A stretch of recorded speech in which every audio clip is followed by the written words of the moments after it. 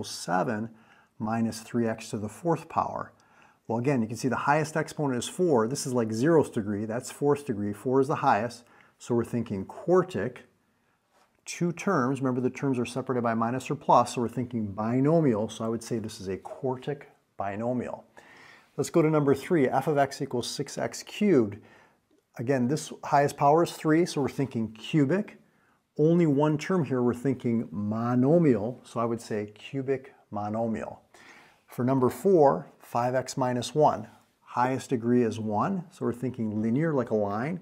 Two terms, that's a binomial, so I would say a linear binomial. For number 5, what do you think for this one? Well, now this one, see, it's not in standard form. Usually you want to write it from the highest power down to the lowest. So it looks like our highest power term is this guy right here. Notice that degree is 5, so we're going to call it a quintic polynomial with four terms.